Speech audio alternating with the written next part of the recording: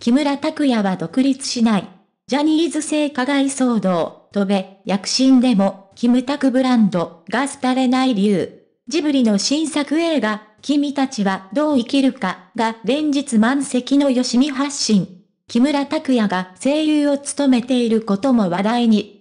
情報がほとんど明かされないまま公開されたので木村さんの名前がエンドロールに出てびっくり。でも役名が書いていなかったので誰を演じていたのかわかりませんでした。何をやってもキムタクと言われてきましたが、今回はいわゆるキムタクらしさを封印したのかも、映画ライター、イカドー。50歳になった木村は新たな境地を開拓しているようだ。ただ、すべてがうまくいっているわけではない。1月に公開されたレジェンドバタフライは興行収入が約30億円。ヒットしたように見えますが、目標は50億円とされていたそうです。総制作費は20億円で、上映館の取り分などを考えれば、実質的には赤字です。早くも5月から Amazon プライムビデオで配信がスタートしたのは少しでも費用を回収したいからでしょうね。ドラマでは4月クールに放送された風間をやけおや、教場ゼロ、フジテレビ系で主演。2020年と2021年にスペシャルドラマとして放送されたものをミツルを自して連ドラ化しました。スペシャルは高視聴率だったんですが、連ドラ全話の世帯平均視聴率は98%と期待を下回ることに、大掛かりな宣伝をしていた割には、結果を出せませんでした。予定されていた映画化は見送られ、もう一度スペシャルドラマを作ることになったみたいですね。スポーツ神記者、イカドー。草薙剛と6年ぶり再会も塩対応、意欲的に仕事に向き合っているのに、空回り気味。草薙号との再会報道でも、むしろ好感度を下げることになった。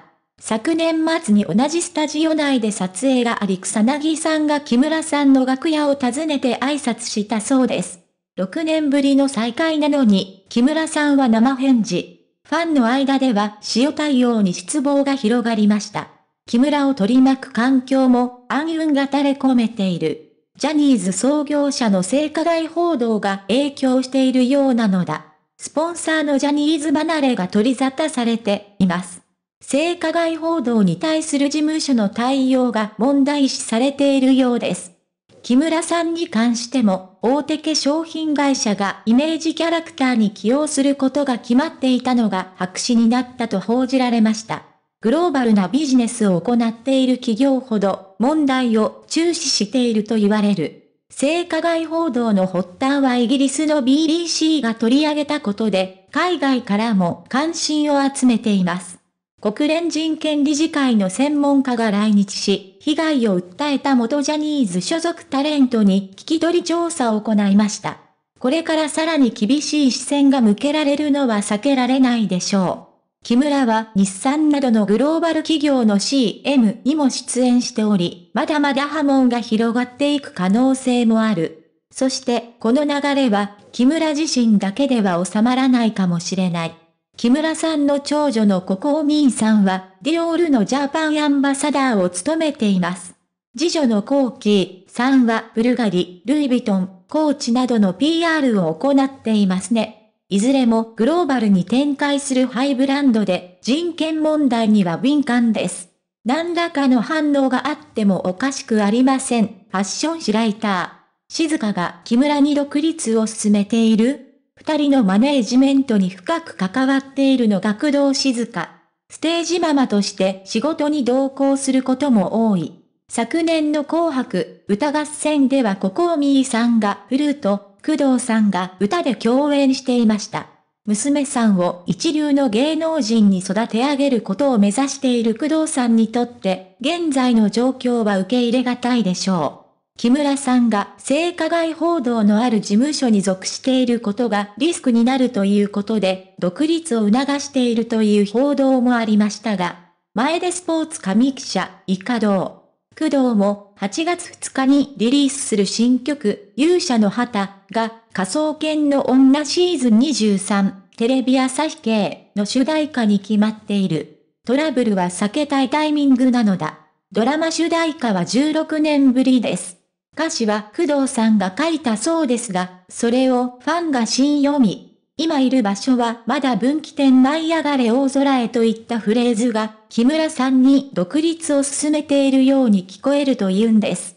スマップ解散騒動では事務所を離れないようアドバイスしたと言われるが、今回は木村に独立を進めているのだろうか。真偽は不透明だが、木村さんは家族思いですから娘さんのことは心配しているでしょう。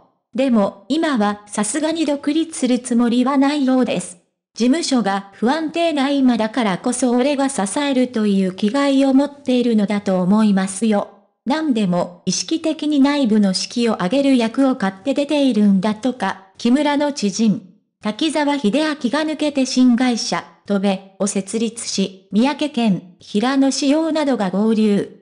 兄貴分だった近藤正彦はすでに去り、ジャニーズでの木村の存在感は増している。事務所内で木村さんは大変な状況だけど頑張ろうぜ、というスタンス。周囲からすれば事務所の大先輩ですから、自分だけのことを考えていられないという思いでしょう。同前。主演作のオファーが途切れない理由、自身が厳しい状況でも、後輩たちに頼もしい背中を見せなければならない。仕事では悔いの残る場面が続いていたが、少しずつ光が見えてきた。来春スタートのテレ朝連続ドラマの主演候補として名前が挙がっているそうです。過去には、I'm Home, B, G から新編系5人から未来への10カウントなどで主演を務めたキムタク枠とも言われる木曜ドラマですね。教場は苦戦しましたがやはり木村拓哉というブランドには今でも強みがあります。確実に話題になりますし、いい意味で無難なんです。キャラがハマれば視聴率だって期待できますよ。制作会社関係者。テレビ朝日に木村のドラマ出演について問い合わせると、今後の編成に関してはお答えすることはありません。と否定はしなかった。教場やレジェンドバタフライが世間的にはこけたと言われてもそれなりに立派な数字は残している。期待値が高いのでキムタクにしては微妙というだけ。彼に代わる存在がいるかと言ったら疑問です。次の出演ドラマを成功させれば、キムタクブランドは V 字回復するんじゃないでしょうか。前で映画ライター。キムタクがどう生きるか、目が離せない。タクが